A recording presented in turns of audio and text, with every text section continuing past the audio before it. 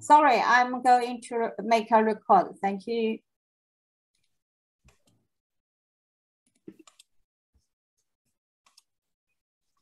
Uh, share my, uh, okay. Mm. Uh, I I haven't seen it. Now, uh, now it's yes. It's okay. Okay. Yes, it's okay. Okay.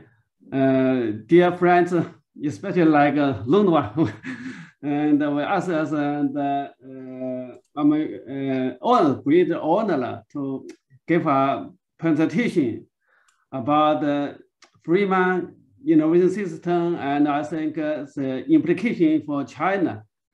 Uh, this is a say is a long story. Is that uh, so? I think uh, really this is also a good op opportunity for me and for Chinese friends to think about in the last uh, maybe I think 30 years how the concept of innovation and uh, innovation system came into China, and also how can I think change the China also.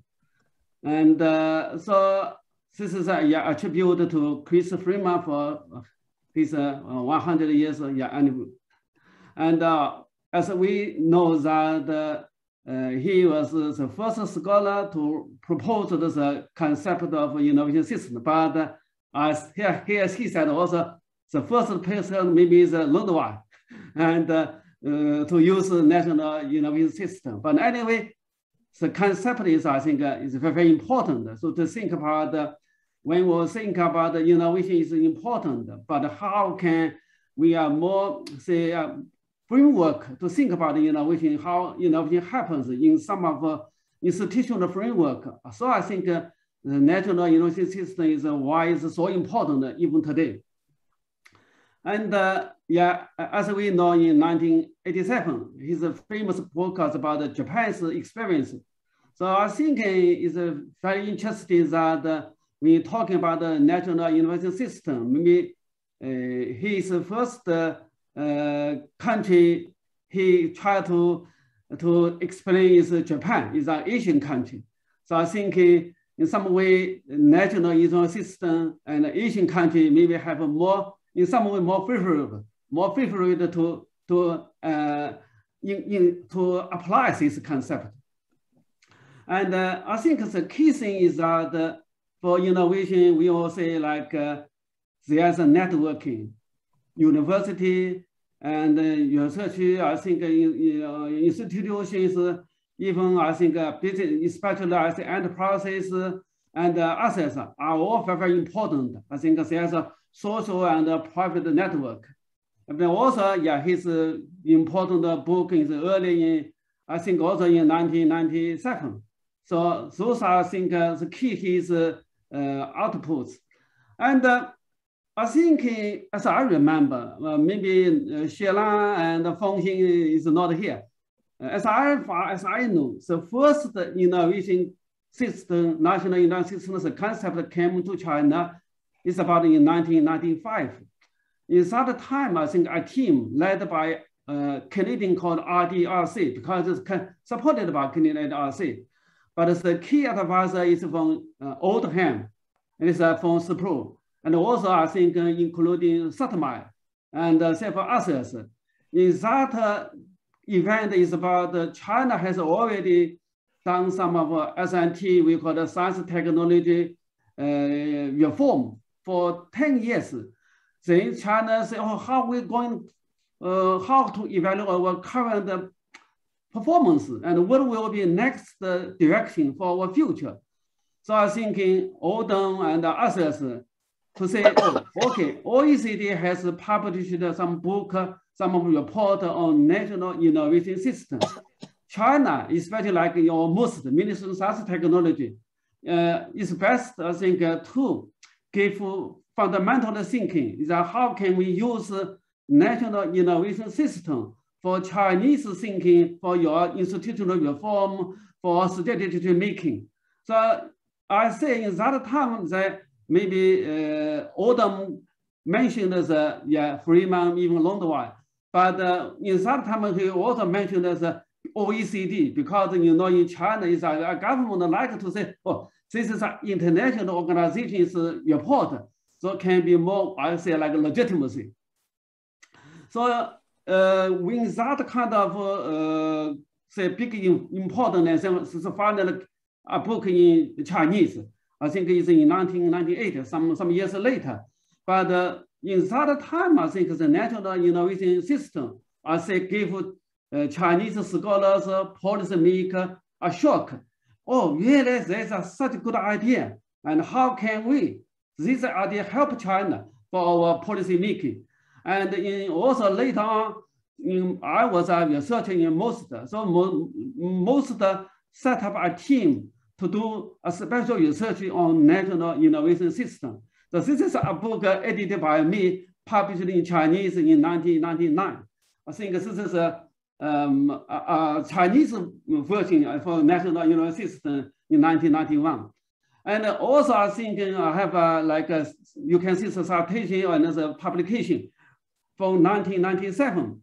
So more and more papers, I think books in China is about the national innovation system.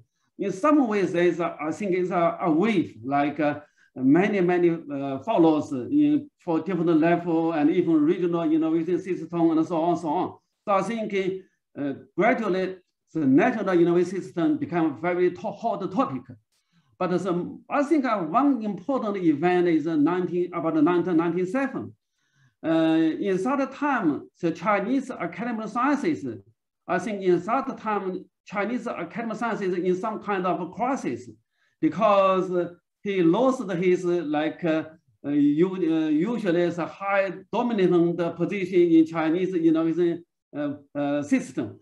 But uh, CAS, because uh, um, call it market economy and the government sometimes cut cut our budget and I think university seems works well. So CAS, I think, worried. Then CAS said, national innovation system is a good uh, concept for CAS to think of how can say we need a, a, new kind of innovation system. So CAS write a, a very important report and try to do something called non-national knowledge innovation engineering in 1997. This report, I think, endorsed by the former president Jiang Zemin. He will say, okay, national innovation system is really a good policy framework. We should build a Chinese innovation system. So this is, I think, then CAS uh, say, okay, this idea was uh, legitimacy and saying, what can we do? So CAS say, okay, we are the main actor in knowledge innovation. And so the government have to give us more budget and we also uh, have we have to say a, a, a kind of a reform. That reform means that we can try to hire global talent. So in, in the early time, we have called 100 talent for CAS. But this is the first time in China say uh, talented people is important for innovation. So I think this is a, in that time, as I know, like uh, China, the country still has limited budget. So Zhongji said, we don't have a, a, a, package of money. If you can uh, attract one talent people, we can give you some of uh, budget, okay? So I think just one by case by case. So, but anyway, so CAS has restructured and become more stronger. But so then on, I think this I think give Chinese uh, policymaker a really uh, different uh, uh, perspective to see how innovation is going on. Because in my paper in with White in 2001 in research policy, we say that usually we think enterprises is a factory, not an innovation actor. Because we will say innovation can be done by university, by uh, like a CAS or by some of called industrial research institute. But since national innovation system idea came to China, I think we say we should uh, focus enterprises rather than just the university and CAS and applied research institute. So I think this is fundamentally, I think changed the Chinese uh, policy making. So I remember, I think in 1999, uh, there's a research team led by MOST but I know like uh, uh, supported by British Council, we visited uh, uh, Spru, and then uh, we have uh, half a day with Freeman. Freeman, we I think this is my uh, that direct uh, uh, in, yes, talk with Freeman about half a day. And also inside the time we uh, has uh, Ben Martin also gave us a talk on foresight. So but inside the time, uh, UK become as a, a, very important country because many important scholars in UK. So we have uh, about I think maybe two weeks uh, travel in different university in UK, uh, organized by British uh, Council. I think that is a really very good experience for Chinese policymaker and um, like researcher like me. And then we say we can deeply understanding what's called innovation system. And we also, uh, I think one year later, the British Council even sent several books presented to MOST. So this is one of them. You can see there's a, a British like embassy or, or the British Council in, in several English book because in, in that time we are still not like today, so we can buy many, many uh, books uh, as, uh, as far as we can. But in some time, we are limited budget. So I think it's really very good experience for us in, in 1999. And in 2004, and I, with my colleagues, also translated uh, Freeman's this book, uh, the Economics Industrial Innovation into Chinese. I think this is also the first one in uh, called uh, you know, the economics of you know, innovation is similar work uh, published in Chinese is the first one, I think. I think because uh, this book, uh, many of uh, my friends, all the young say, okay, this is uh, also a book to show how to understand innovation and for especially I think for industrial innovation. So I think this book is very, very important for China and this year or next year, this book will be republished again in, in China. So I think following those kind of events and uh, the national innovation system became uh, very, very important and also especially for policy making. So in uh, by about 2000, I think especially we have called the long range program, 2006 to 2020. And then also we say uh, formally say China have to build our own innovation system. And also very interesting to see that uh, the national innovation system was designed to have this Chinese way, five different parts. One is called technology innovation system, with the main actor is enterprises. One is called the knowledge innovation system, with the university as the main actor. One is called the regional innovation system, one is called the military civil integrated innovation system. And lastly, the networking of S&T service system. So anyway, China, I think in that time in our program, we try to say in our national innovation system, there's different actors. And, and so we have different five different parts. So this is a good way for Chinese authority to think about how can support them different differently in different way. So this is, I think, for a long time, this is a, what I call very official way to think about the national innovation system in China. And uh, I think it's a, uh, uh, latest the work for innovation system collaboration is uh, formed with OECD about 2007. And uh, Xuelan, uh, me and uh, Mu Rongping, we are deeply involved in this project and this project also uh, supported by uh, Ministry of Science and Technology because OECD has a limited budget. So MOST have to provide the resources. And in that time also, we have many, many, I think, uh, interview in China and also lots of workshops think together. This uh, called the OECD review of innovation policy. I think the main uh, framework is uh, innovation system. And uh, we use the system again and to evaluate the Chinese progress and also what is the barrier and what is the uh, next, uh, for, for example, like uh, uh, the policy, new policy tool. For example, in this report, uh, like a friend of mine, I think nice in Germany, is Edler. uh, he loves called public procurement can be very important. So in this report, we will say China should have more policy from public procurement. So I think this is uh, also reflected in our long range program.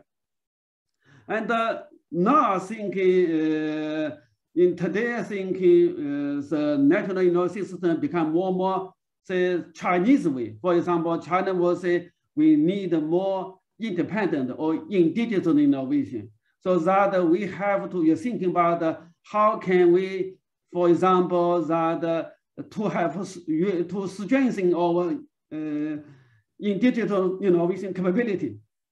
So from I think from 2010 to now, so whole idea is that how can China implement a, a new kind of we call it innovation-driven development. And also I think in, in here, the uh, national innovation system is still our key concept, uh, but usually is in different way. For example, uh, as far as I can say that now uh, the government knows that China uh, catch with the developed countries, uh, the, the gap I think more narrow and uh, we are say more closely or say with developed country.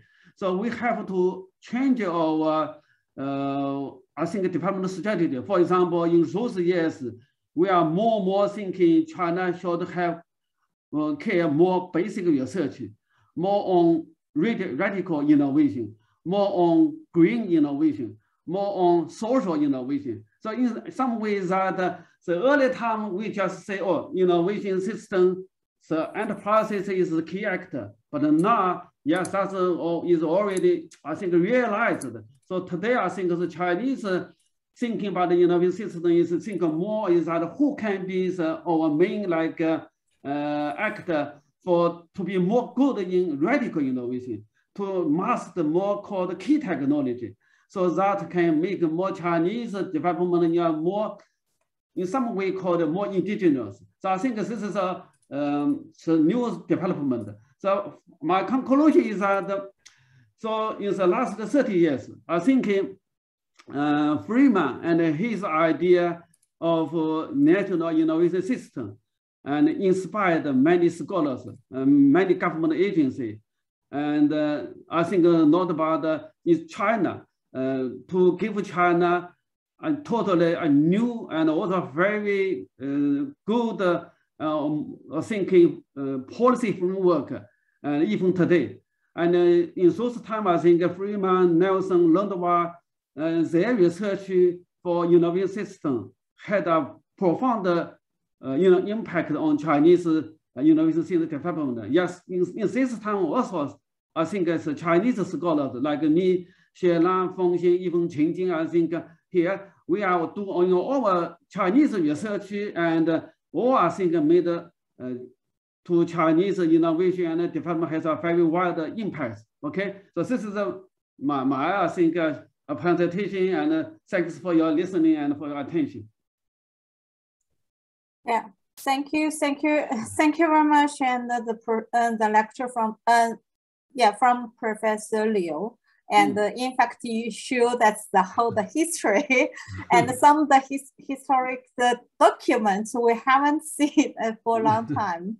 Mm. And thank you so much and, uh, and for uh, for Professor Liu. And now we welcome Professor Wang Qing, and uh, she will give uh, share her experience and uh, opinions on the innovation system. Yeah, welcome. Thank you so much. Jing, do you, we, I see a, a question in the chat box by Professor Lundvall. Do yeah. you want um, uh, Xie to respond to that before we move on to my presentation? uh, I think it, I think it's that is a, perhaps it's a question to all of us. I think mm -hmm. so. Uh, the question is very interesting on the mm. introduction of NIS concept in China. In my mm-hmm. work with uh, Shulin Gu, we mm. argue that decentralization and the local experimentation has mm. been the strength of China and SI. Do you agree? and is it still so? So the mm. role of the local government Mm. Okay, I think in 1990s, this is sure that uh, I think uh, Lundvall is right, is that in that time, decentralization and uh, experimentation from bottom up, I think, provide a lot of uh, yeah, innovation practice for China and also in policy practice. So I think in, in that time, right. So, but uh, in the, uh, after I think the latest stages, is more, as I as far as I understand, China, China will be say, for example, for national immune system is more like actors, uh, say, oh, which one is most important.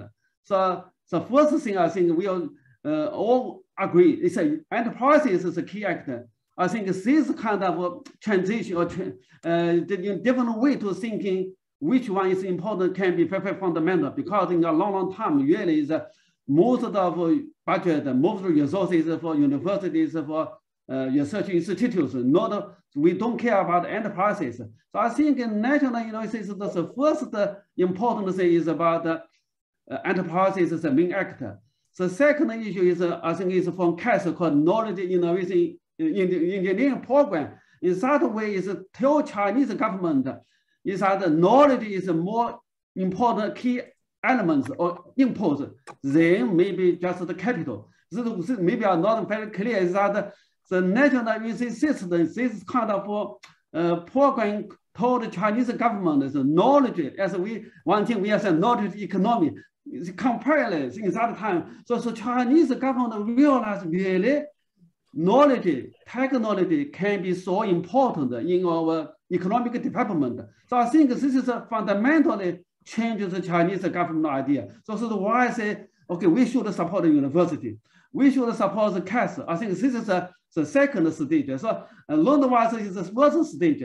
The second stage for innovation system. So what impact is uh, give CAS more money, give university more money. So you can say world class university 19, 1980, 985, uh, 80, uh, 985 is a first Jiang Zemin in Peking University for 100 years anniversary. He said China has to be have one uh, world-class university. Why need a world-class university? Because knowledge is so important.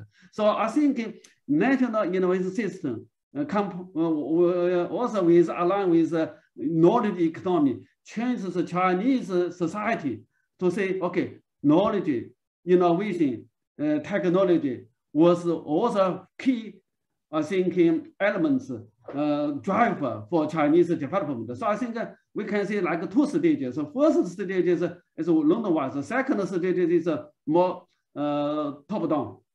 Okay. Okay. Yeah. Thank you. Can you hear? Can you hear me? Yes. Yes. Can you see my slides? Yes. Okay. Good. Okay. Um, again, uh, I see a few familiar faces, some old friends. Uh, apart from Professor Lundvall, uh, we, you know, we met a few times, sometimes in SPRU, actually in Tsinghua, early stage. We were both visiting scholars uh, in Tsinghua and actually Xie uh, invitation. Uh, I, I also see Carlota. Uh, I'm so pleased to hear to see you here. Uh, I know how much. Mm-hmm. Hello, you haven't changed. Mm-hmm. Um, amazing. How are you keeping with all those COVID stuff? Okay, very mm-hmm. good. Yeah. So I, I am really honored and actually humbled to be invited to give this uh, talk on uh, my experience of working uh, with Chris uh, as a colleague in SPRU. Um, so um, I wanted to tell you how much he has influenced my research without me knowing at the first, because he he was such a great thinker and deep thinker and that's prolific uh, researchers, authors published in so many different uh, areas. Uh, I mean, around the national system innovation, but much more profound than that. I think in general, science and technology policy related issues. Uh, so my life uh, at SPRU was when I was 33. and I, that was 1995. I'm revealing my age now, but never mind. I was young then, at least.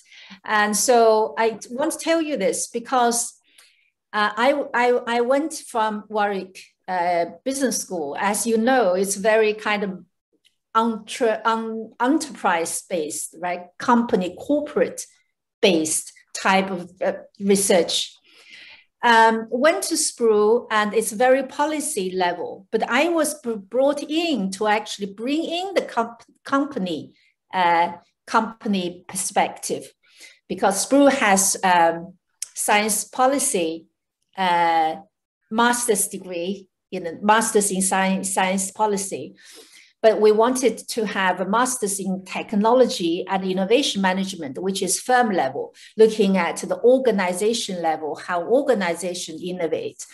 Um, so, I, so I think in a sense that's very complementary, but also it's really, really uh, really useful for me to see outside, you know, to really look at the link between the policy, government policy, and firm strategies or firm capabilities how these two are interconnected. Um, and I think that really provide a very, very, uh, very, very um, ins huge insight for me.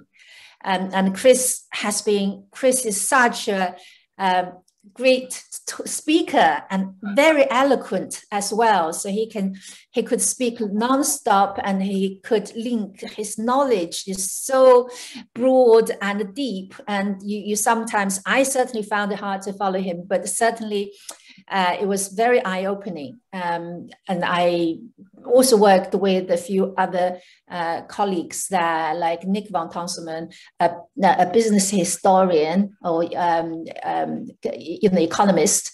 Um, and so we looked at this long kind of long-term uh, effect you know, of technological change on industries, sectors over time and the complexity because of the technological change has brought in so many layers of complexity.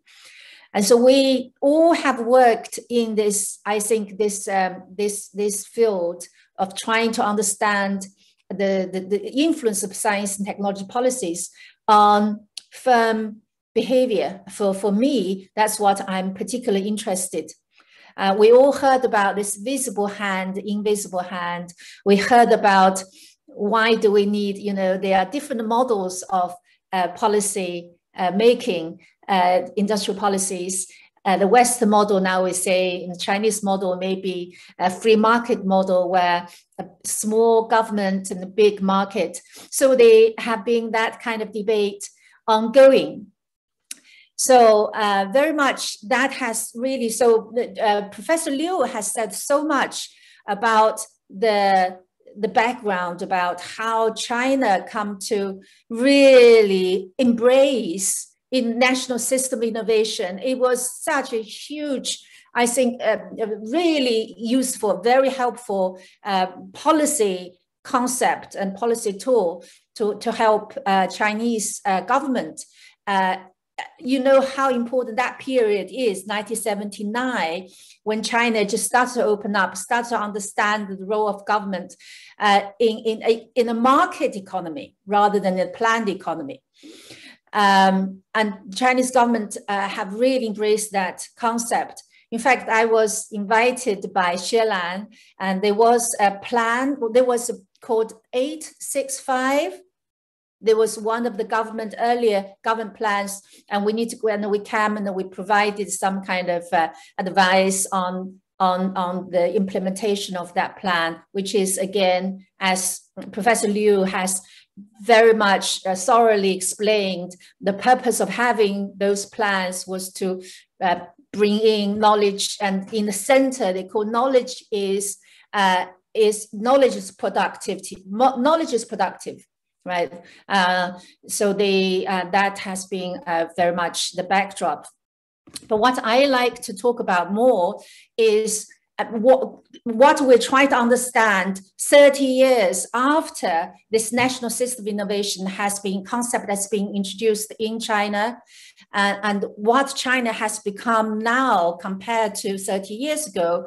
And we as scholar, um, so really try to understand um, what happened uh, to this uh, China, China science technology policy, uh, what have made uh, the country uh, economically a, a, success story.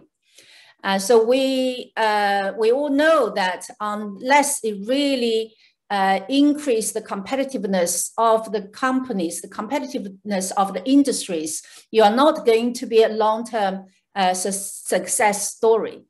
Um, and uh, Chris really looked at uh, this shift in world leadership and the role of innovation in this process. So we could argue in the very early stages of China's opening up and China's economic development, we could argue that China had no innovation, it was imitation, it was low cost labor, but that wasn't uh, uh, wasn't the case anymore. So, so how did China cross that chasm to become innovator, innovation leaders or technological leaders in some areas at least? Um, and and uh, uh, the, uh, the, the also the increasing Chris Chris is so visionary. He really foreseed some of the things which are actually happening now. I feel like you know he looked at the increasing importance of big companies become network leaders. And this is actually what I have been researching on with my colleagues in Zhejiang University to look at the role of the state-owned enterprises who are huge companies, we're very resourceful, who, who played a key role in integrating and connecting different parts of the economy and start some really huge project. For example, the high-speed rail project uh, was, of course, by that uh, uh, state-owned enterprise called uh, China um, CCTC, uh, you know, the the um, the China China company that produced the ro royal ro rolling rolling railway rolling company. So really, this is also what we are seeing now in China: the role of the state-owned enterprises. And again, I'm really, I'm really happy uh, Professor Lundvall is here because we, I've ju just read your, your, your, your, your uh, article in the latest issue of research policy, which introduced the concept of corporate innovation system and looking at the co-evolution or interaction between the national policy, national system innovation and corporate system innovation, at your proposition of these two have to to interconnect in order to push the economy forward. And you looked at artificial intelligence and looked at how that particular sector is, is, um, is manifesting some of those characteristics.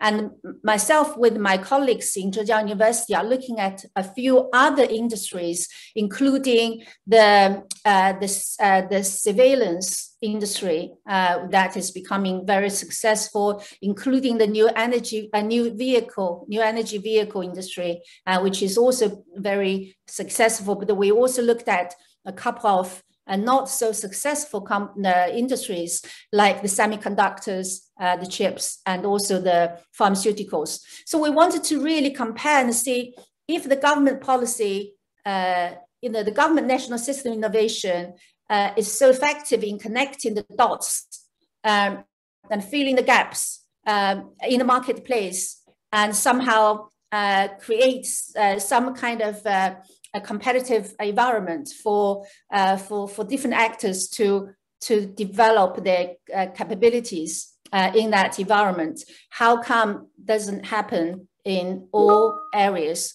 or industries? So very much the the kind of questions that we have in mind now.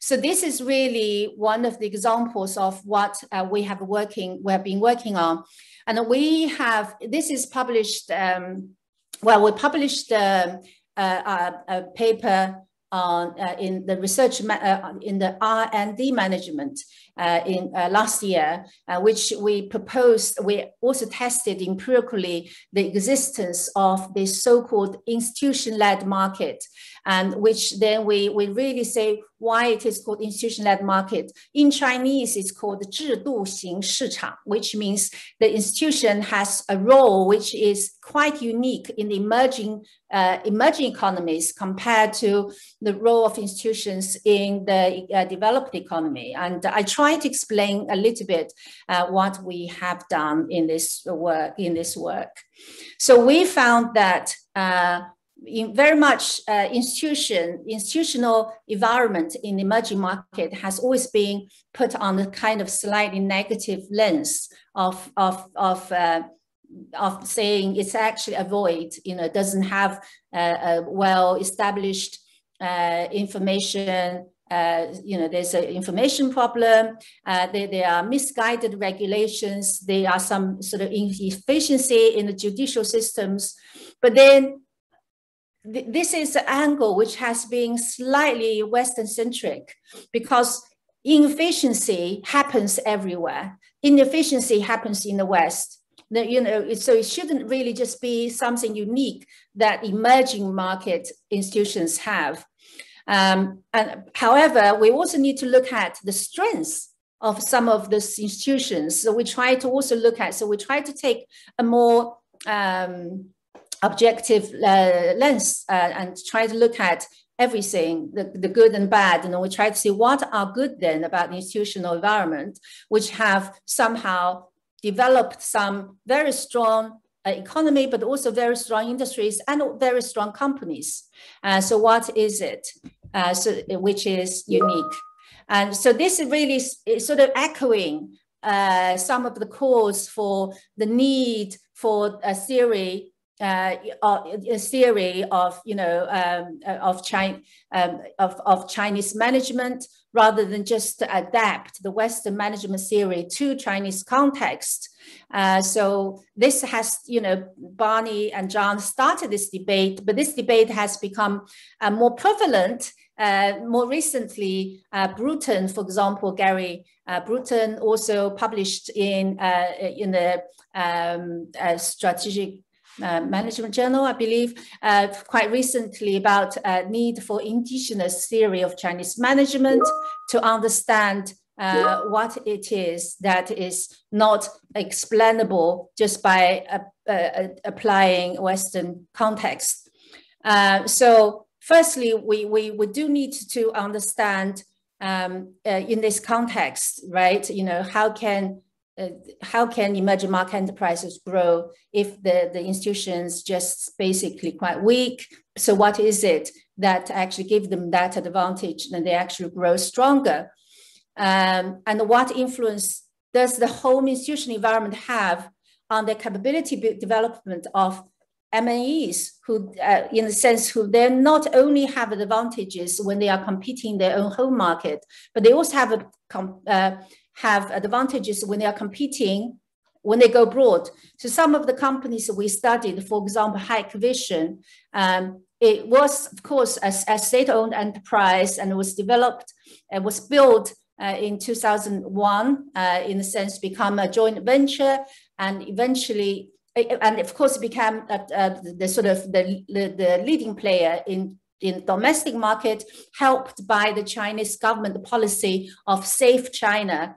Uh, uh, however, gradually, not only it has become very strong inside in home market, it also become very strong uh, internationally, become a, a very um, competitive multinational company in many other countries. So we really wanted to follow that and to understand what have uh, give them that advantage going abroad as well. So we uh, we wanted this. So this is really what we try to define what the institution-led market is. Um, so and, and how it influenced the emerging market capability building and, and when they are confronted with a different degree of technological discontinuity uh, in particular.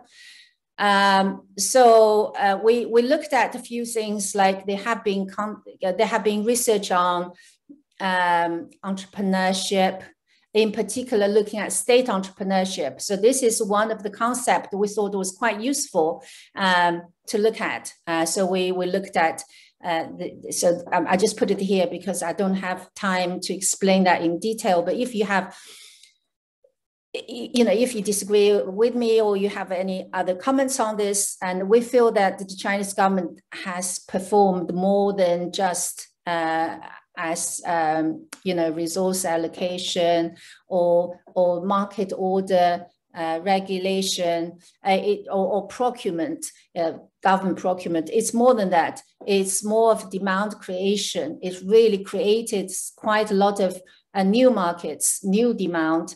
Uh, for example, the early example I give, the high-speed rail market and the Safe China market. And now the environmental sustainability uh, became a top priority for the government, which again created some new uh, new market demand uh, for for the, for the country, and therefore for the, for the uh, companies to try to uh, fill the need or, or, try to try to you know try to compete in that new market. Uh, so we we really look at this multifaceted nature of government in emerging markets uh, we feel like they, they, they, they have a market-driven mechanism, and I'm going to explain how that ha works. I mean, this is sort of conceptualization, and we try to say, well, how does that, how is that implemented? What does that mean for the government? What do they need to do uh, to, to do that? Uh, so this is what I mentioned earlier about the, the, the paper we published on the management, uh, looking at the definition of institution-led market. Um, uh, so it's market demand creation, institutional resource support. So this is sort of two dimensions. Um, uh, both are very important. So not like one is peripheral and one central. They both are very important. Okay. Sorry, I'm just having to uh, go through a bit quick, quicker. I, am uh, conscious of time. Uh, so I wanted to come to this slides because this slide is where we found um, uh, what the government, so, so the government has managed to create a demand and, and provide resource support and they implement that uh, vision, if you like, of government long-term vision by having this, uh, the SOEs as the bridge in between the government um, mission, government policy uh, implementation and actually bring other players in the economy together, bring other private enterprises together. So, uh, so the, the, the role of uh, SOEs is really, they are not just um, a company, they are also mission driven. They, they have mission. So they will need to do certain things which may not be uh, viable or profitable for the private enterprises, but with the backing of the government, they will be able to pick it up and really work on something that government thinks is very important. So we call them uh, not just uh, market driven, but they also mission driven.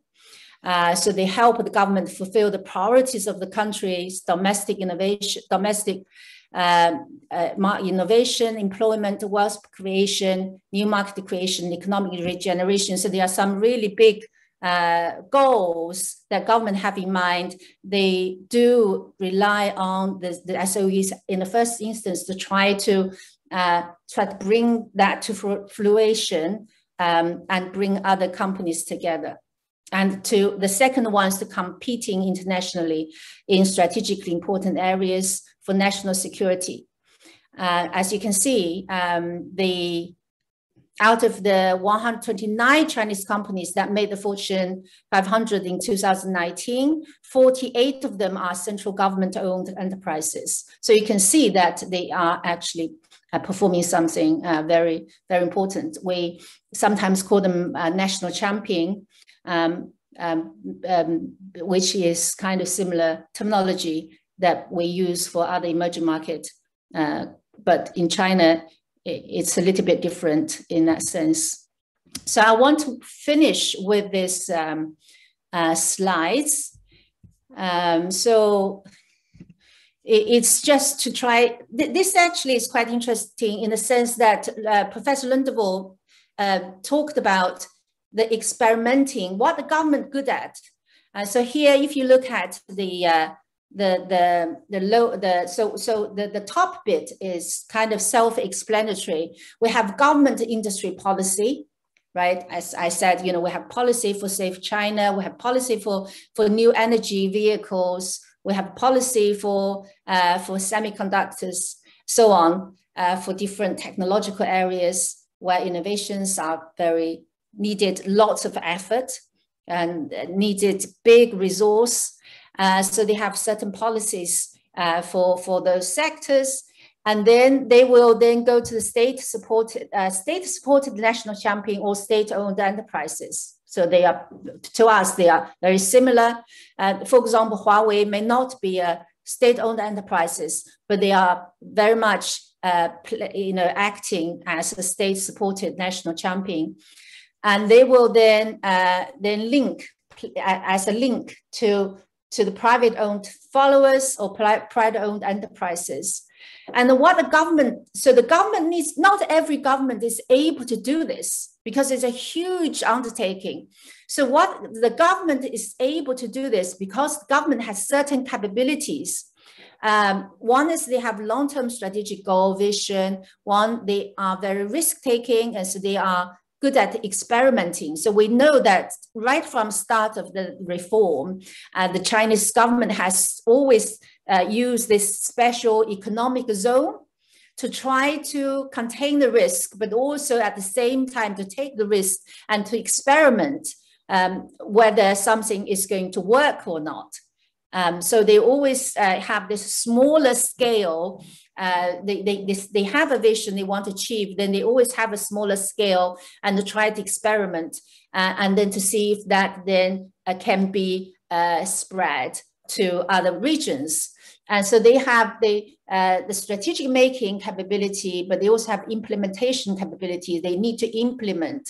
And that is where the state supported national champion comes to uh, to, to, to, this role uh, that, that is very crucial for the government.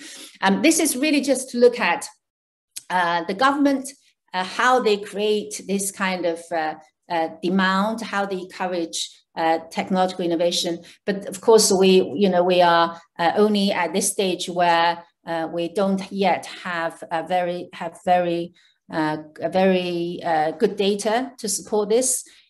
we, we have had some preliminary uh, results. Um, so, uh, so these are the uh, few comp uh, companies in different sectors.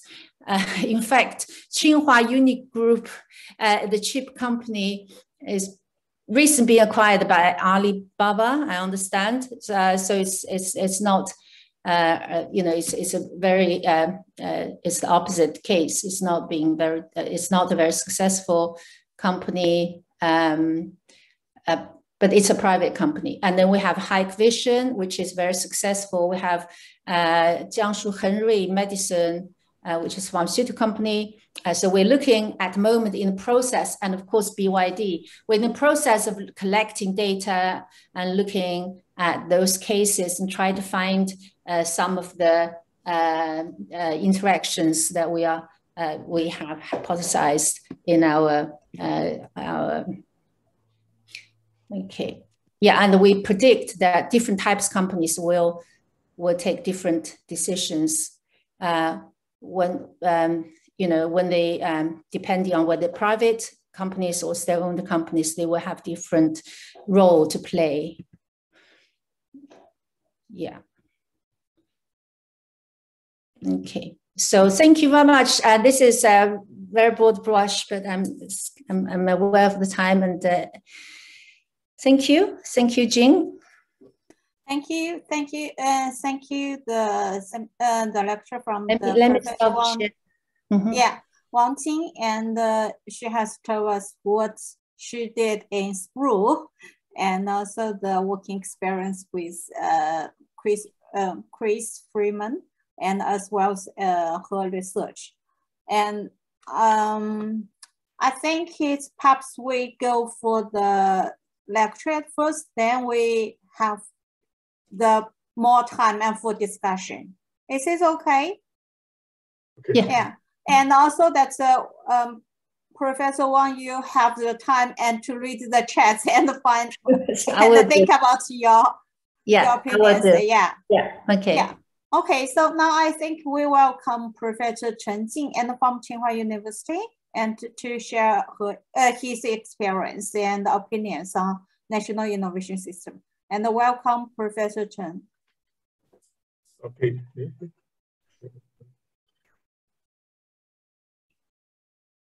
Yes. Okay. Good morning Yes. and good evening. Uh, So uh, today, tonight, I'm very happy to uh, talk about the innovation system in China. Uh, firstly, I'd like to uh, uh, thank uh, uh, Xu. Uh, there's a new global uh, race uh, focused on innovation. Uh, in fact, the global innovation landscape reshaping uh, accelerating. So this year, China ranked 12th at the second time, higher than Japan. And this year, we are higher than Israel and Canada, uh, establishing itself as an innovation leader. So that's great. Uh, so the ranking by G Global Innovation Index 2021 uh, shows the rapid growth of China innovation uh, status. Also, we can see uh, China switched to uh, engineering-based to technology-based and finally to science-based innovation uh, to create more uh, science engineering application among the world. So we surpassed the United States to be the number one paper publication country in the world. For technology, uh, this year, uh, so patent application, we also can, can see from the data of uh, WIPO that China share almost 50 of the total patent application in data 2018 with very fast uh, growth. So China, uh, from this point of view, China switched uh, from technology borrower to uh, uh, parallel uh, working with Western country. Part of uh, area is uh, with leading in quantum compu computing and some big engineering uh, area. Uh, why? Because we are continuously investing R&D and innovation. So last year, the R&D expenditure over GDP uh, exceeds uh, 2.4 percentage. That's great. We'll uh, reach about uh, 2.6 uh, in the next five years. It expect to be reached about uh, 2.8 in 2035. So that show the China catch up is very fast. So reason uh, behind the China fast uh, uh, growth in innovation. Uh, I like to thank, we learn lots from uh, Western countries. We, we learned from MIT and SPRU. So there's two streams to constitute the innovation studies in China, uh, in China. One from US, especially from MIT. Another one is very important from uh, SPRU, University of Sussex. We thank all the scholars in these two units, especially the contribution by Chris Freeman. My colleague, uh, Li Jiangbo, uh, now doing the chronicles uh, work uh, to analyze the, the publication uh, by Chris Freeman since year uh, 1966 to uh, 2010. And uh, even after, uh, after his uh, pass away, we also can see that there are still, still as publications. And we do the uh, diagram uh, shows uh, what Chris Fuchs, in fact, Chris Fuchs two, three, four areas. One is what with a good in, economic system. Uh, how we see uh, see the technological uh, science technological progress and how we think innovation and development and how to design the national policy. And we also see the network uh, by Fries, uh, Chris Freeman, with all the scholars uh, in the world. And uh, also the citation uh, uh, diagram by Chris Freeman. So that's great. So we'll finish this report by end of this year. Uh, the chronicle analysis of uh, publication uh, by Chris Freeman. We will publish this paper at some journals. Why we study Chris, Chris Freeman? because he very important towards the uh, a theory of national innovation system. The national innovation system is very important concept for China's catch-up and parallel uh, uh, progressing. Uh, as uh, Professor Liu, Xing said, national innovation system was uh, introduced uh, in China around uh, 1990, late 90, but it is formally adopted by Chinese government by year uh, 2006. Uh, at that time, uh, Chinese government uh, determined uh, to build an innovative country and focus on indigenous innovation. As Professor Liu mentioned that we have five innovation systems according to National Innovation System concept. There's a knowledge innovation system, technology innovation system, service innovation system, regional innovation system, and civil and military collaborative innovation system, etc. So we do benefit uh, from uh, concept of innovation system. So that's the reason why China catch so, uh, so fast because we have a great, great uh, uh, contribution by Chris Freeman. So this is uh, can show that by our national innovation system thinking. Uh, so Chinese government uh, launched the three steps of innovation uh, strategy by year 2016. That means by 2020, China to be an innovative, country. And by 2030, try to be top 10 innovative, innovation-oriented country. And by 2050, uh, we try to become world-class science technology and innovation powerhouse, uh, become the major science center and innovation heights. Maybe after Italy, UK, France, Germany, and the United States try to be a science center. We try to be uh, innovative country. So that's, I think, the mostly contribute, uh, contributed by the uh, uh, theory uh, by by innovation national system. We have national uh, design for innovation. That's great. Thank so thank uh, Free, uh, Freeman so much. I met Chris in February uh, 2000, uh, year 2000. And also I thank uh, Dr. Qing Wang. Uh, Qing Wang also uh, make a bridge between me and uh, SPRU and also get an invitation for me. Uh, so I do, in, in, I'm indebted to you uh, about help. And by the end of my visit, I was surprised that Chris Freeman went to uh, join my uh, reporting reporting activity. it's very it's, it's very busy, so I I remain this picture. It's a very good memory for me.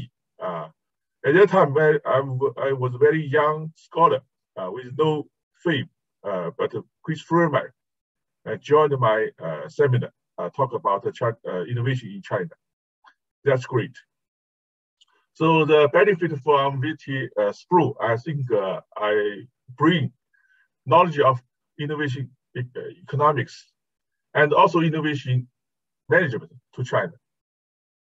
Uh, so very, very uh, important for me, for my research. Uh, so I became the first scholar to study digital innovation system uh, at my PhD thesis uh, in 1979, uh, before uh, visiting SPRU, because I got a book uh, uh, by Richard Nelson. And also I read a book by Chris Freeman, and also the book by uh, uh, Bo uh, Lundvall. these three books contributed to my PhD thesis. And also our research, my research projects, I focused on national system of technological innovation for China in 1995. And after that, I focused more uh, firm level. Uh, I tried to apply uh, national innovation system concept to firm level. As the, Dr. Wang said, uh, so Professor Lundvall work focus on corporate innovation system. I uh, also focus on firm innovation system. And then uh, focus on the core competence-based innovation system uh, in 2015. And recently, uh, yes, I, I like to, uh, I plan uh, also do some work to apply a national uh, innovation system or national system innovation to rural innovation system in 2019. So all the research work by me, uh, all the uh, origin from the concept of innovation system. Uh, that's great for me to uh, to uh, to get uh, research ahead. That's very important.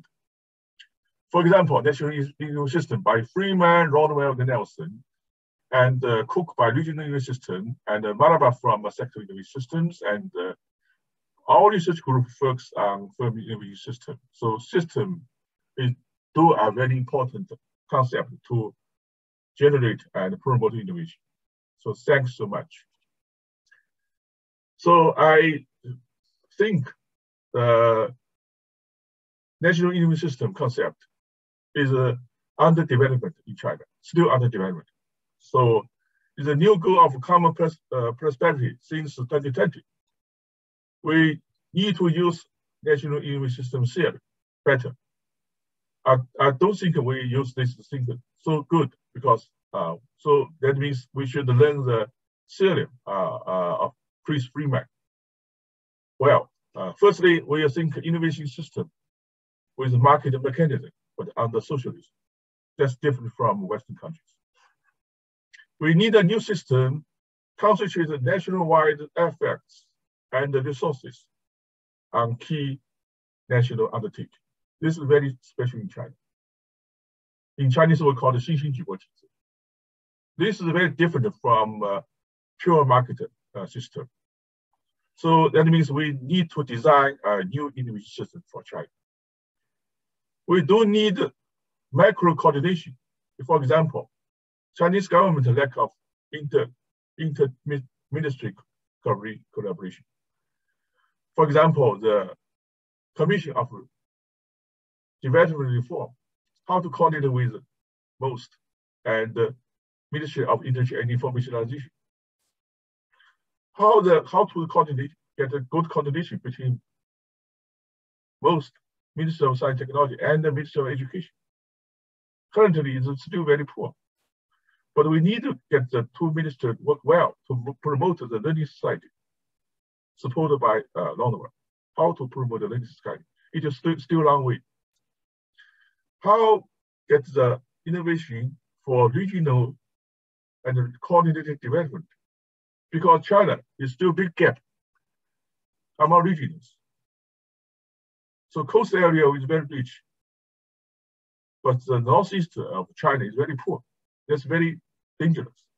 How to get the coordinated development? That's very important. So we that means we should we still remain the five-year plan? I do remember the discussion with uh, Chris Freeman that uh, the advantage of, Chinese government lies in uh, the, the uh, five-year plan uh, by Chinese government. she said it is an advantage for China. So how we will use the five-year plan as a, as a policy measure to promote the the the solve the problem of uh, uneven development uh, among the regions. And also how we get innovation for sustainable development. As you, you know, the China now is promoting the uh, uh two carbon uh, uh, policy. And also, we like the book by Freeman, How We Innovation for Hope and Well-being. So I, I think we need to re-study the theory of, of Chris Freeman and use the theory well to promote China uh, still uh, uh, good uh, good way uh, towards innovation. So that's I think we we need learn uh, further. So because in new Chinese goal, we are called innovation under per, uh, prosperity. So this is a new situation for China. So in China, we should solve them uh, among the goal of industrialization, informationization, urbanization, and agriculture modernization. And at the same time, we should keep our environment uh, sound and also focus more on our healthcare because we are approaching an aging society. We try to make our uh, world peace and uh, enjoy the international affair with peace effect, etc. So that's a thing. We, we still need, need to use the innovation uh, system shared well to help China. That may be during uh, the development economics, uh, because Schumpeter economics focuses on the enterprises. And the new Schumpeter economics taught by Chris Freeman, as well as Rothwell and Richard Nelson, is very, very important so uh, this year, I translated the uh, Elgar, uh, uh, campaign to new Schumpeter economics. So Chinese government should understand new Schumpeter economics, not, not just to promote the enterprise innovation, but also how to get the uh, uh, stronger public support to the private uh, sector innovation.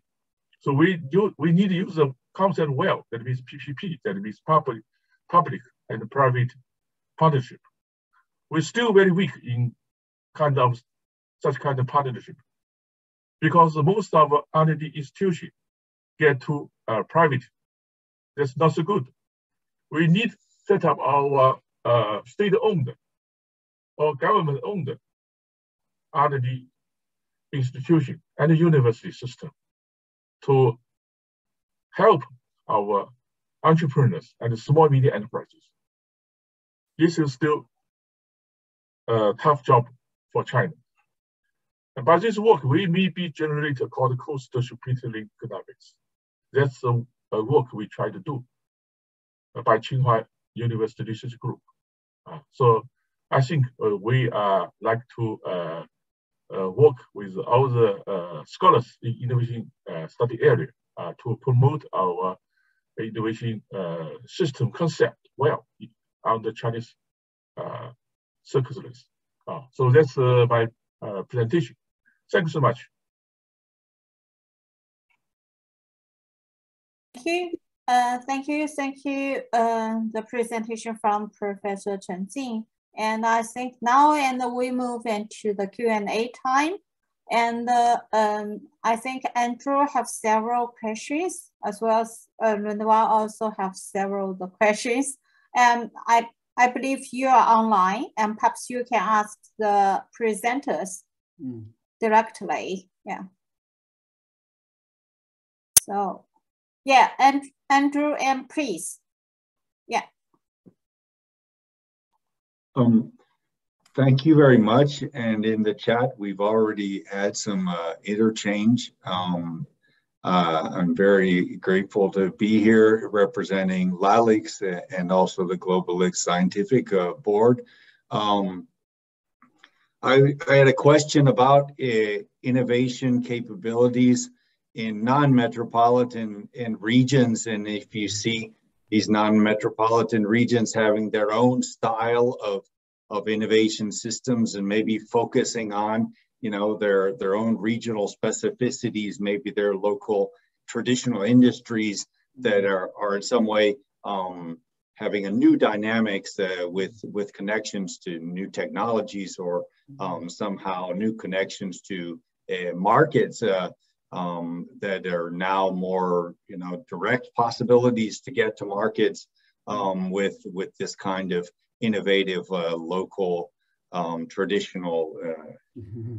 products that maybe were way too far away from markets uh, before.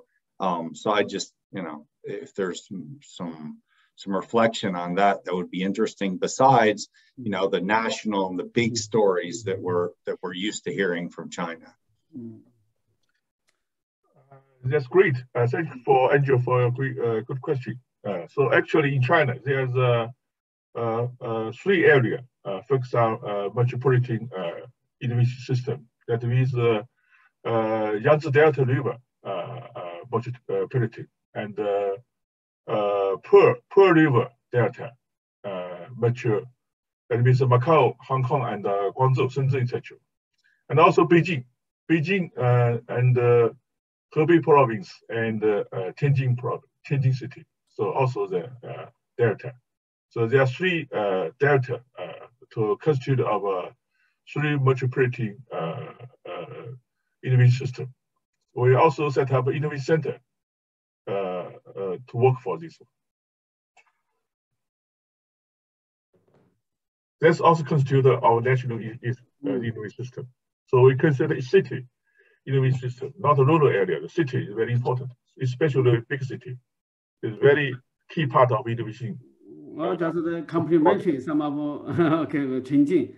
Uh, yeah, in China, I think uh, Beijing, Shanghai, Shenzhen is the most density of region for, yeah, as you say, so metropolitan as more international, more good talents.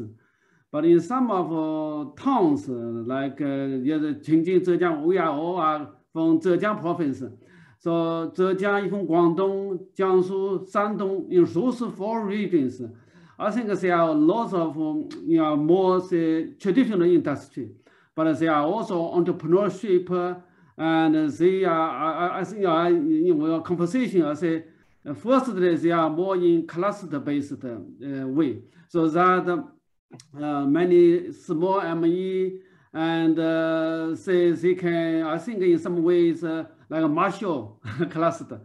But now I think they are trying to change it because uh, the digital technology came, okay? So that how can they access more like uh, Alibaba's platform? Now how can they that connected to more, for example, university research, and I think originally they are care about how can they connect the global market.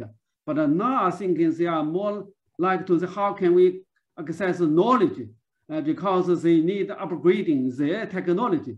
So I think there are some of stories about uh, how in those uh, like towns or counties uh, changed their patterns. Uh, I think there are some professors doing that, um, but I can maybe I can find some of the paper later. Okay, thank you, thank you, thank, thank you. Mm.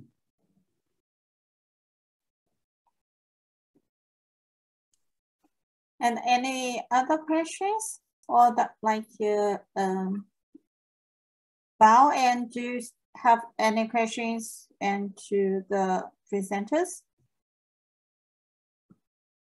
And the Laji and the welcome and for your question.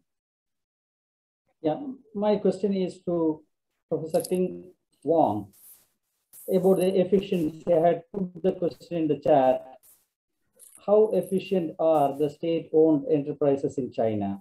And if they are efficient, what are the measures the Chinese government adopt to maintain them at their efficiency level? I'm comparing the situation with India, where now there's a spree of disinvestment. Companies, government-owned companies are running, even the airline is running out of profit, mismanaged, and they are in a selling spree. So how does China manage?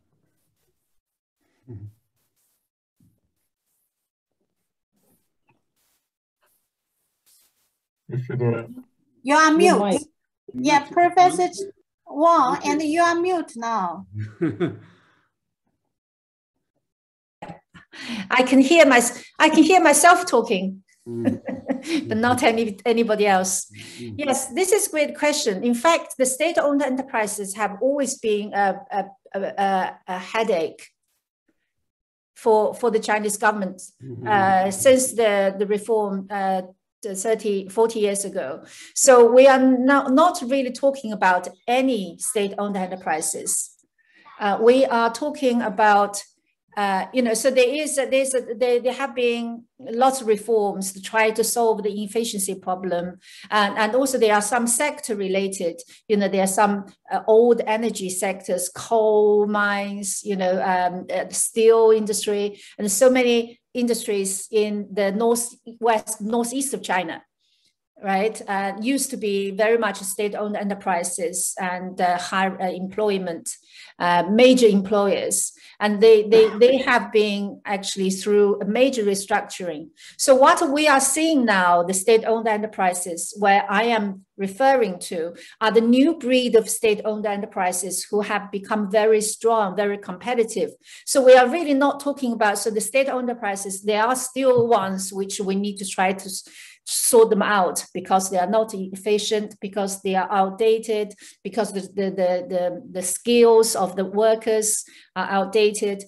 Um, but uh, for the ones which have got potential, for example, the high-speed rail, for example, the new energy, for example, the uh, uh, the, the, the Hikvision, which, uh, which was a state-owned enterprise. What it did was to have the uh, to, to, to, to, to have the investors, private investors, so PPP. That's what uh, Jin Chen is referring to. So in fact, it's more the new breed of state-owned enterprises. It's a, it's, it's a new breed of state-owned enterprises where they have uh, private, public, government um, uh, partnerships to, to, to have to, you know, to actually make it a much more competitive.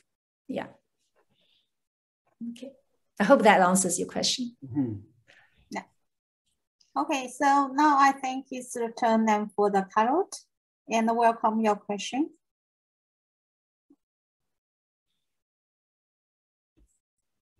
Yeah, Carlot, now it's your turn. Carlota. Uh, thank you. Yeah. Yes, I, I wanted to continue on that question about the state-owned enterprises, the modern ones, because uh, there are two things that I find interesting. One is when you said that they're also mission oriented, not, not only profit. Uh, I imagine that means that there is a particular way of getting them to know what their mission is and also of evaluating how they are fulfilling the mission together with how successful they are being in innovation or in profitability or whatever. Mm. I wondered if there was if there was some system because there are several of them and because it's such a big country and it's so complex is there a, a, a, way of doing it or, or is it just each one differently? And the other question i had has to do with the fact that as far as i know alibaba for instance has managed to facilitate the incorporation of thousands of little companies, SMEs all over the country. Mm. And also the possibility of people being able to pay even though they don't have a bank. I mean, all these things that Alibaba has, has been able to solve, uh, are there things in the state-owned enterprises that that look at problems of that sort, which is the incorporation of the whole population into, into you know, both producing and, and consuming. Uh, is this part of the missions? Is there, how, how, does the, how does it compare? And is it valued? I mean, is it understood that this is quite a, quite an interesting result that Alibaba has achieved with the private, you know, in a private uh, sector company. So it's Thank you, Khaled, for your good questions. My, uh, let me answer your questions. Uh, so firstly, I think uh, maybe uh, in Western country, you may misunderstanding the, the innovative uh, capability of state-owned enterprises. Actually, most uh, Chinese state-owned enterprises is very innovative. It's better than private one. Why? Because the leader of the of the uh, state enterprises are very pretty oriented. They, uh, they should uh, uh, achieve a, high uh, economic uh, return as well as social responsibility. So in recent years, they are requested to pretty very important for innovation performance. For example, they are asked to be uh, the monitor of uh, industry to keep the technology security to uh, grasp the key technologies. So the uh, uh, in fact, the state enterprise invests a lot in R&D investment, and uh, as a as a result, they get good innovation performance. For example, uh, state state grid of China, they get uh, over uh, 10,000 patents every year that's very high. That's very high. They get a technology uh, of uh, high voltage transmission, electric transmission. And also another example, high-speed train is also uh, state-owned enterprises. So that's different from uh, other countries. So, so most innovation, because China is a very big country, we need innovation in infrastructure private company cannot do more in infrastructure. Private company like Alibaba just do consumer consumer goods. But the private company, they are the the problem is focused on pro, profit to more. This is uh, called this is uh, the stockholder, stockholder, not stakeholder. They just uh, pay more into the money making even they, they loan money to the mid companies, but the interest is very high. It's not so good. But the state-owned enterprise, the state bank cannot do that one. So state bank, like uh, China people, uh, uh, commercial, in the commercial bank, they get very low interest to the small intermediaries, unlike Alibaba. So Alibaba is not so good. So this is very different. This is not different. So Alibaba is the biggest P2P. This is called called internet-based loan. It's very good. It's very very better one. Very very better one. Also it encourages the young generation to to to use money easily, without paying more attention to how to return. That's uh, draw lots of young young young men in China to lay down. You know, lay down, just uh, do nothing like some Japanese man. So that's that's good. That's good. So in contrast, so Bank of China and the Bank of uh, Industry Commercial Bank is very profitable. They do good for social responsibility. So that's a different story from Western country. now, now I, I, I, do lots of work to introduce good, good example of Chinese student enterprises. I'm moving from uh, Zhejiang. Zhejiang is lots of private company, but they just make money. They have no technologies. They just make money. That's not so good. So innovation not just to make money. Innovation try beyond making money. They should pay more attention to the social coherence, as Donovan said, for social balance, social justice is very important, not just money. That's my comment. Uh, I have a little different from Chen Jin. I think uh, China is a large country. There are some years ago, I, I say China has two different innovation systems. One is maybe the the uh, SOE dominated the innovation system in like infrastructure, and one I think uh, more profit enterprises dominated the innovation system. It's like Alibaba, Huawei, and others. They are more good at uh, like uh, say uh, like digital technology. Uh, more in like in as in more say consumer products sectors. So I think they are in different sector, they are in different function, I think different capability. I think this is maybe is a more uh, Chinese also picture. It's a, a little different from uh, okay. okay, can I just, um, um, it's nice to have different views, yeah, yeah, probably. Yeah. Um, so uh, to answer your question, Carlota, um, Alibaba has done, has made huge contribution to, to Chinese economy, right? For many things that you've mentioned. Mm-hmm. However, there's one problem with that model is that there's a hollow kind of that made the manufacturing. So the Chinese government policy is to uh, strengthen the, manu- the, the, high quality manufacturing industry mm-hmm. uh, for the strategic purposes.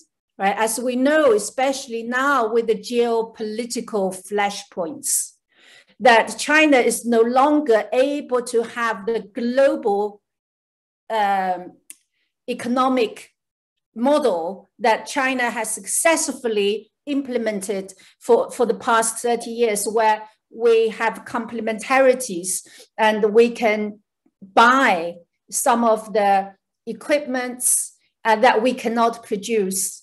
And then we can focus on our compa comparative advantages. That has become uh, gradually more and more difficult because of the geopolitical flashpoints. And so China has had a, a major strategic turning point where need to it becomes strategically important to have all the high level uh, manufacturing capabilities. However, having that old model of Alibaba and, uh, and also Evergrande, as you know, the property uh, the, the, company that have uh, absorbed too much investment into those sectors that the government is no longer considering as the strategically important sectors.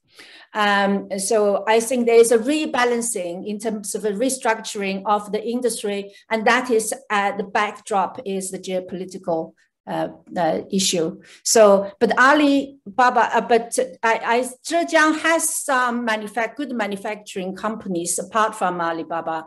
Geely, you probably know that has been the car manufacturing has been very successful example actually of a private enterprises of acquiring uh, international uh, uh, global uh, multinational company, um, Volvo, and actually have made a success of it, and now has been uh, on the IPO uh, in the stock market in Norway, and has has, has um, the market ma market value has has um, more than 10 times of when it's it from Ford.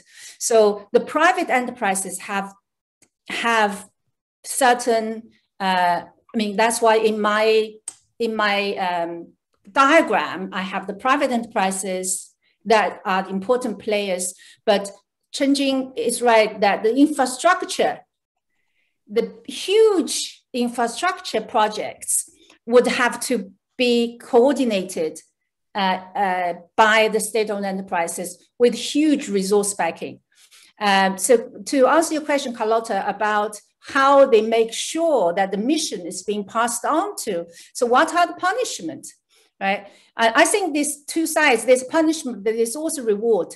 So again, the government, uh, in terms of um, um, the, the sort of the, the, the state-owned enterprises, especially the central government-owned enterprises, the, the head of the enterprise is equivalent, is actually official, government official. So they have the same ranking. So they actually they they they are like so there's a there's a there's a direct line of command.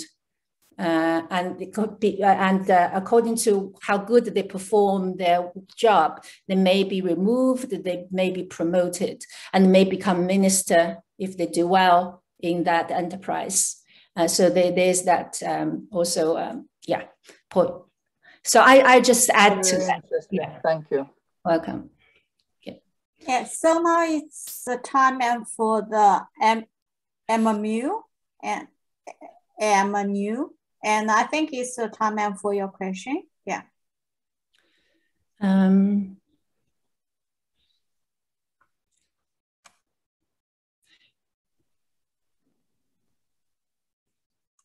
uh, I think I cannot. Can you hear me now? Now it's yes. Now I can hear Good. you. Good. Yeah. Yes. I- I, I want to ask, uh, is it possible that China didn't have um, big size companies and then uh, the government owned companies had to take the place of those big companies?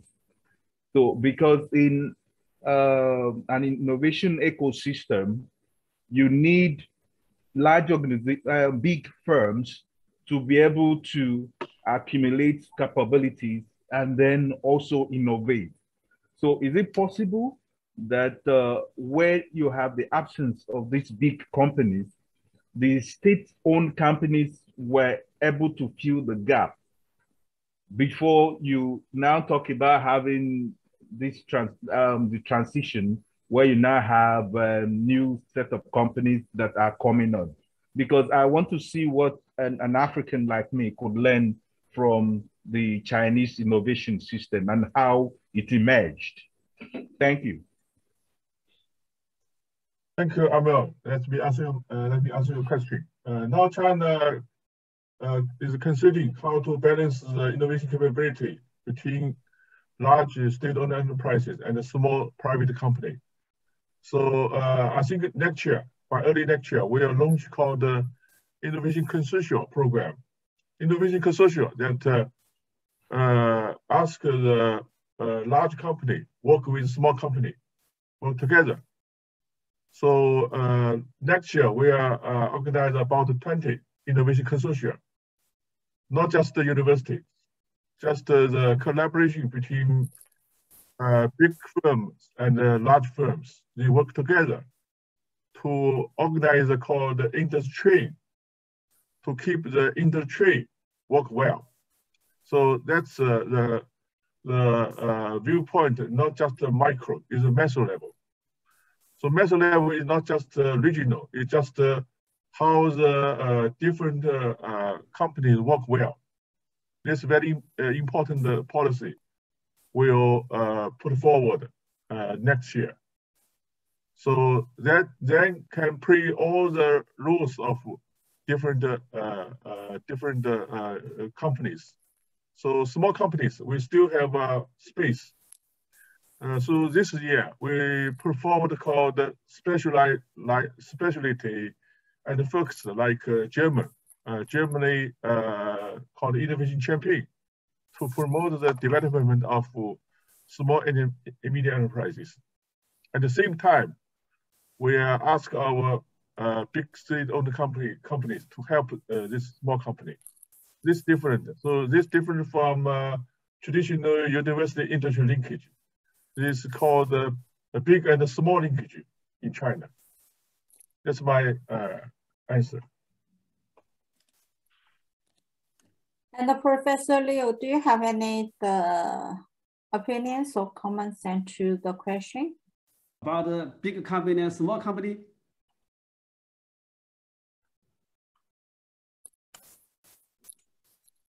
Uh, I didn't uh, hear very clearly. It's about uh, the big company and SME, how they collaborate.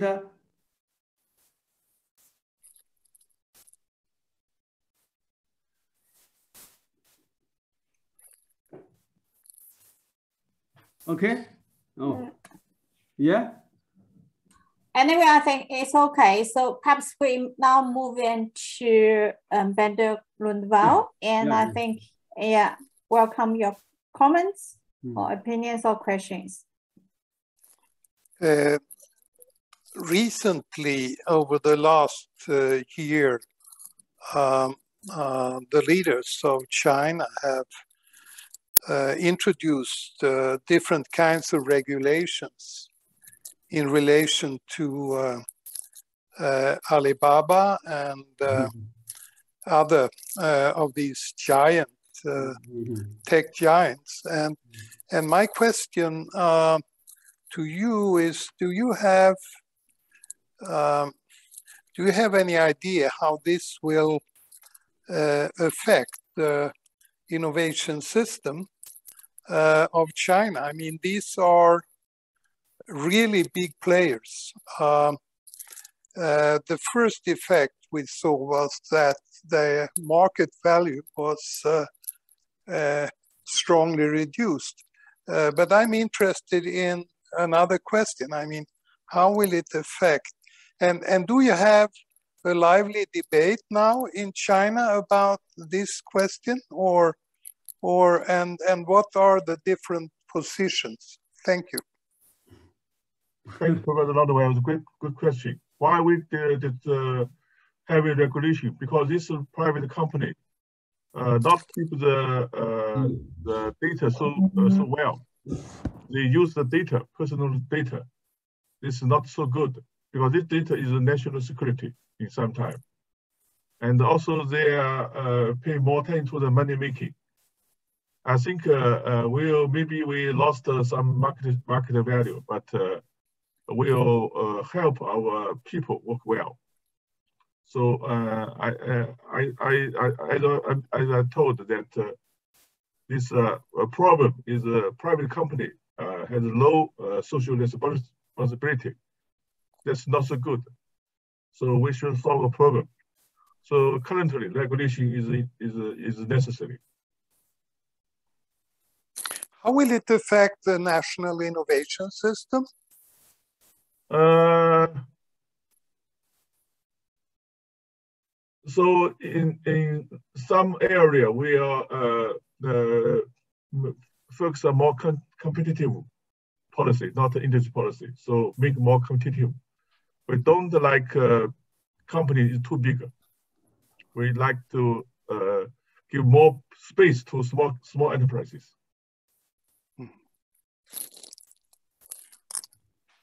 Any comments? Huh? Me? Oh. Yeah. yeah, I can some comments. I think uh, thanks Lundvall for your good question. In some way, I think in Chinese uh, we are muted. uh, we are we cannot say uh, much about this issue. Uh, I think there's a both uh, political and also maybe for other reasons to think about how can regulate Alibaba and other digital platform company. Uh, maybe in some way changing right is, uh, is uh, for the last 20 years, uh, they are uh, developed so fast is that sometimes the government worried that they are out of control because they are uh, combined, say, market force, financial power, and even digital power. So they have many powers like a digital uh, market and uh, users. So this is as that any government uh, like a bank, uh, as a Chinese big SOE cannot do it. So this is the government thinking they are more powerful in some ways than the also of SOE. So that the government thinking is time to control them. so this is my observation. I, I will I, I would I would agree with Xielin on that. I think there's um, there's two sides to a story. Um, uh, certainly, uh, Alibaba, because I'm studying the I'm studying the uh, the sort of um, the date, you know, the mar- marketing, if you like, you know, in terms of what kind of power uh, big powerhouses like Alibaba and Tencent have in China right? And you compare that with Facebook, with Google, with Amazon, mm. uh, and you see they probably have much greater power in China than their counterparts in the US because they've developed so fast that the regulations were lagging behind, which is a typical characteristic of technological evol- development, mm-hmm. especially in such rapid development in China, like China. Mm-hmm. Um, it's very much lagging behind. Uh, so they had unbridled kind of development for, for too long. And in particular, they really, I think the consumers also suffer from that. So we are probably the, the data, so we say channel uh, straddling. So their data does not does not uh, restrict, it's not restricted to one particular area, for example, traveling, for example, shopping, right? So the, or entertaining. They, they because they are basically doing everything, entertaining, shopping, you know, social media, uh, everything across the whole different channels. So they can basically know your habit from the moment you get, you wake up to the moment you go to sleep.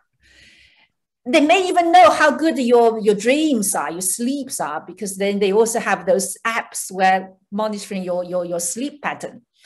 Um, and, and the data, obviously you need to protect consumers, but I think more importantly, the data has also become very highly sensitive, right? In, in some areas, um, like what the government officials, what time they come out of their office, what time they go to home, you know, what time, what what transport they take. So they have too many data. And then the U.S. now government requires every every company who want to go on IPO to re, to reveal to disclose all the data right, to disclose so much data that, that the government, the China government feels it's no longer viable uh, proposition for these companies. So what the government did first was to stop Ant, right, go on IPO. That was the first sign the government started to bring in uh, control uh, because the, the requirement, data requirement for such IPO is just beyond um, you know, beyond the beyond question. So I think they, they are two sides to a story. Uh, but we, but I agree that we need to have a debate about this. Thank you. Thank you. And thank you for the question and the comments and from the three, um, uh, three professors. And now it's the turn and to the Yu, Shi, Yu Shi Chen. And so welcome your question. Oh, yeah, I, am not uh, answer to, uh, I try to ask a question, but I, I'm trying to answer that Andrew and uh, Carlota addressed the question. Uh, on the one side, I think uh, Alibaba and those uh, uh, big tech company enable, enables the new business model, such as consumer to manufacturer which is a business model connecting with uh, manufacturers with consumer that removes traditional logistic uh, inventory, sales, distribution, and these uh, intermediary sectors. Enable um, customer can buy higher quality products and lower price. But um, these from the new business model perspective. But uh, now, uh, since the data as a new fact production factor, so those uh, platform-based company somehow enlarge the digital dividend be between the customer and the, the, SMEs, so they can upcharge the um, interest from both sides. Uh, that's also the challenge from all global big tech companies. Sometimes because uh, as the data become uh, more important, sometimes those uh, big tech company also act as a public infrastructure. That's uh, the uh, from government side. That's uh, the key to keep uh, public uh, infrastructure keep wealth.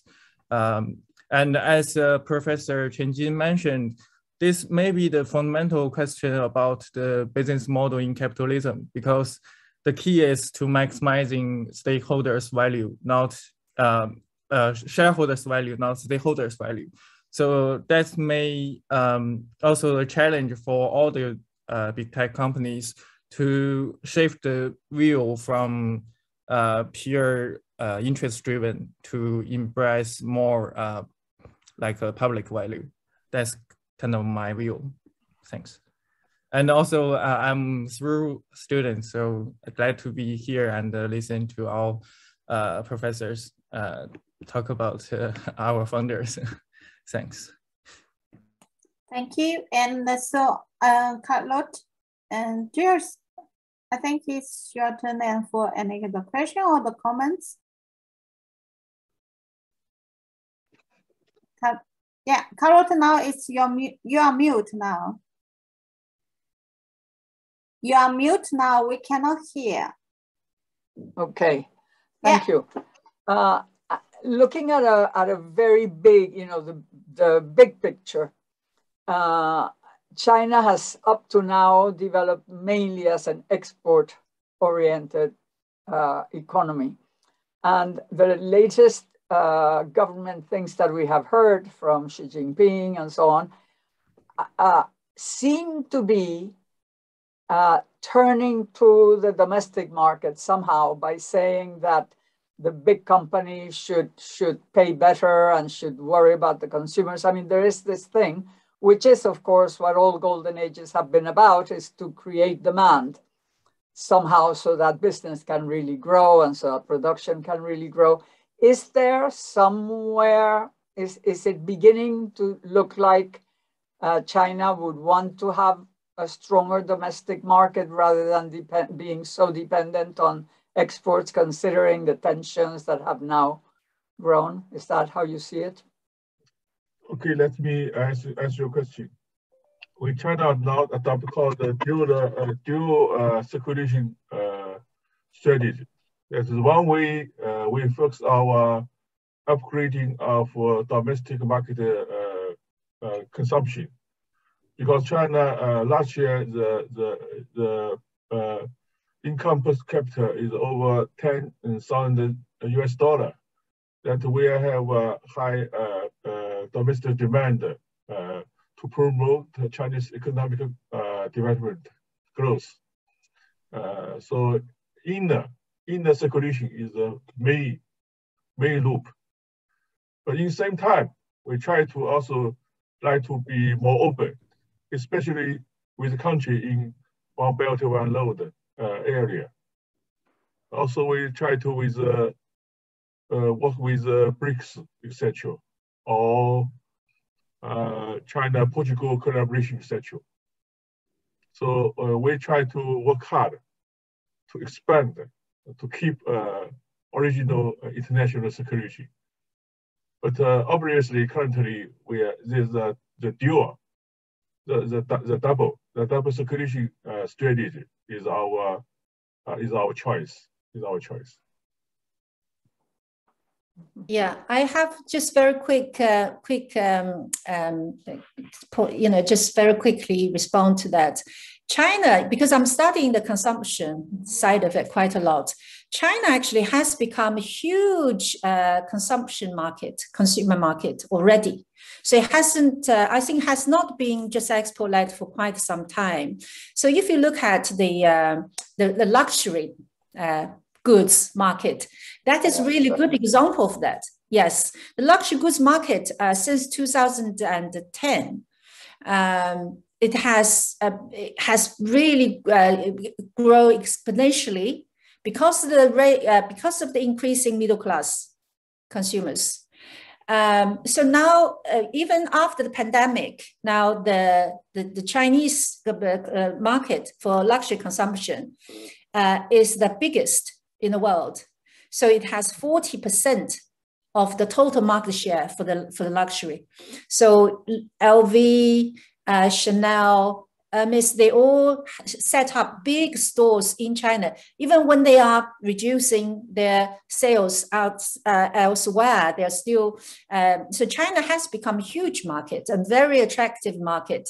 Um, so what are the Chinese? But what your point is a valid one because what the Chinese government tried to do is that to to to um, try to push the Chinese consumers to buy buy um, Chinese own brands rather than buy Western brands.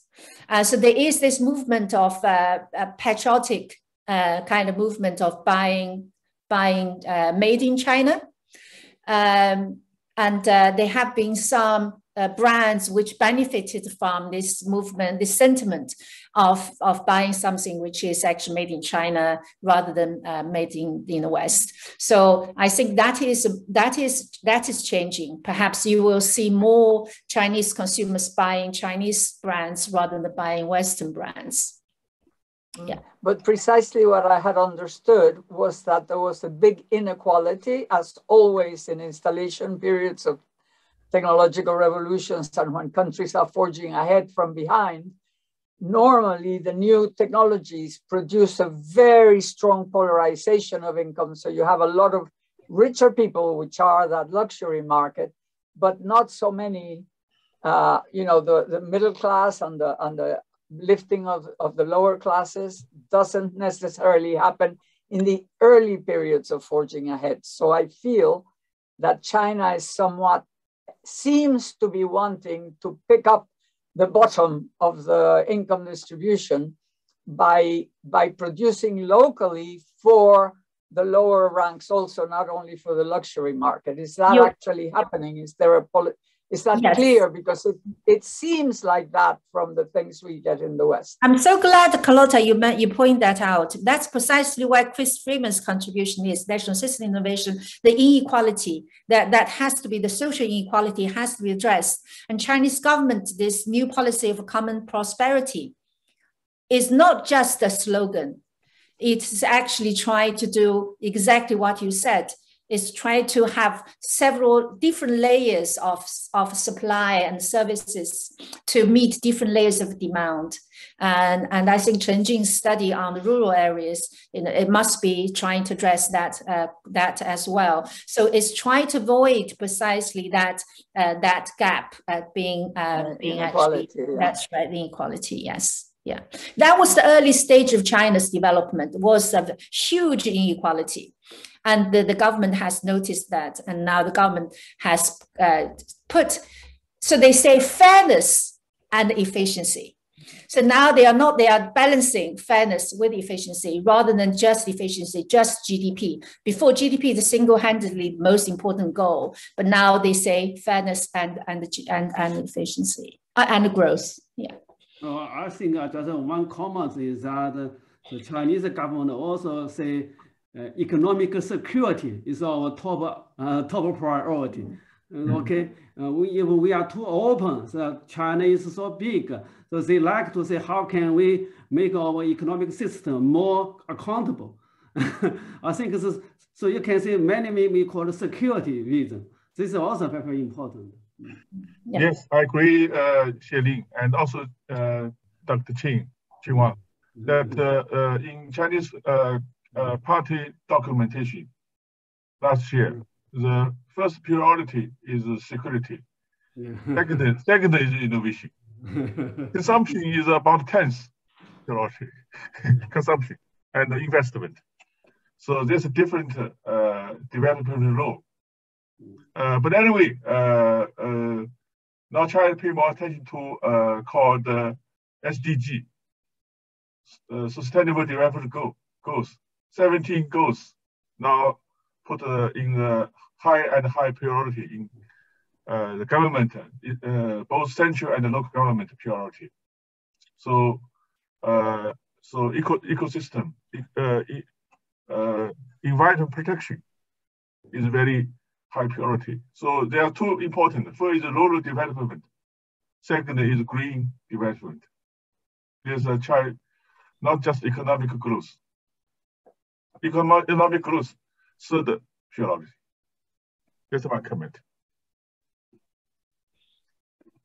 So I think it's uh we have yeah uh yeah before I think you have uh I, I may know I have the question and now it's no put the hand. It, it, yeah. Okay, can I ask the question quickly?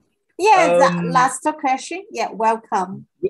Good so um, you said the Chinese companies are mission oriented. Good. Since they are mission oriented, and uh, one of the professors, um, Liu, was able to say that you have big companies merged with small companies. So there is uh, a consortium of firms that work together, and then you see innovation. So we have seen Chinese companies dominate some African countries in some sectors. Um, you have them in the mining sector now. Uh, in Nigeria, you see them mining gold, uh, mining some other mineral ores. So as part of the mission of the Chinese uh, company, do you have them where they can share technologies with uh, smaller African countries? Um, like you have them in Nigeria, in the markets which they dominate, is it part of what you have in your innovation system that they could share some technologies with uh, the small firms we have in Nigeria? But the case is that we find out that once they enter into any market, into any sector, you find that the Nigerian firms leave and the, the Chinese um, firms take over the market. However small they look like, but they, they tend to have the capabilities to displace the other smaller firms that had been there. So is it part of the responsibility which you, you see in these firms to transfer some technologies to the local firms? Thank you. Okay, let me answer your question. It's a good question. I believe the technology uh, level in mining industry is uh, at uh, very advanced.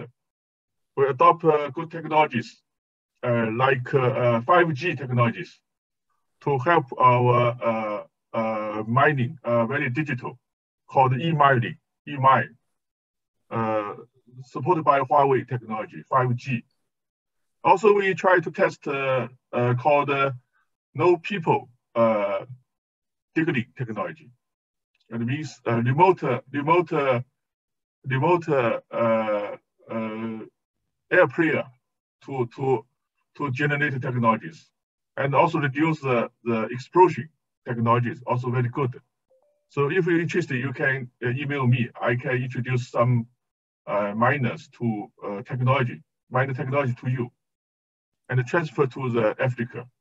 That's very good for the security and uh, uh, innovation in Africa mine, mine industry.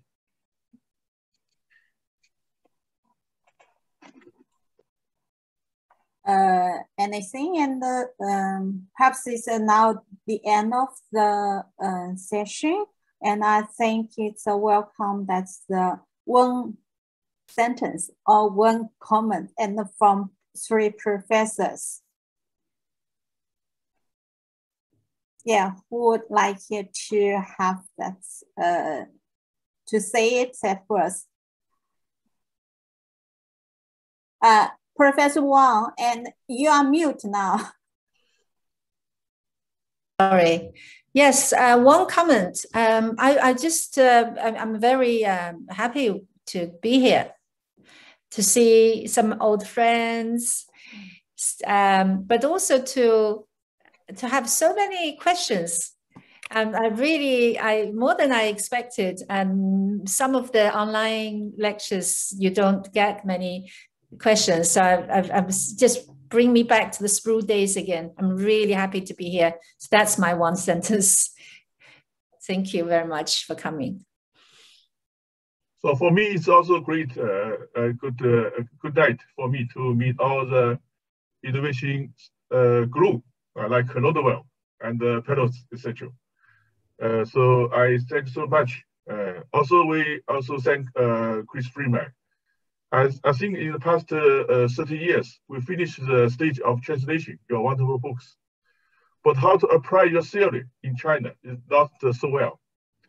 So in the next next field research area, I apply your theory well in China because now we have more chance to uh, join the policy design for Chinese government. So um, translation is a, is a one one side, but how to use your theory is a, is a very uh, tough task, but it's worthy for uh, our Chinese scholars to do that one. So uh, please uh, give more advice uh, during the process. Thank you so much. Mm, okay, I'll say some words. I think really exciting and uh, unexpected. I think maybe it's a few people, and now I think it's uh, many, many people, especially I think international friends, joined this of uh, uh, say uh, work, workshop and really happy and to to talk and exchange ideas with all sorts of friends and thanks I think and it seems like a we, are say Chinese issue is also still as a, like a global issue. so I think uh, love to see later, okay, to exchange our research uh, results. Thanks. Mm. So thank you, and thank you for Thank all you, that the speaks and uh, all that participants. Mm. And if you have any question or the comments, and welcome to send me email, Yeah. and I will share with all the speaks. Yeah, thank you very much. Thank you, Jing, for organizing it. Yeah. Thank you. Thank you. Good, good afternoon, good evening, Thank or you. good morning. We like uh, host the Globelics and welcome uh, to Beijing again. Context of So, not well, please come to Yeah. Beijing again. Bye-bye. Okay, Okay, bye-bye. Bye bye.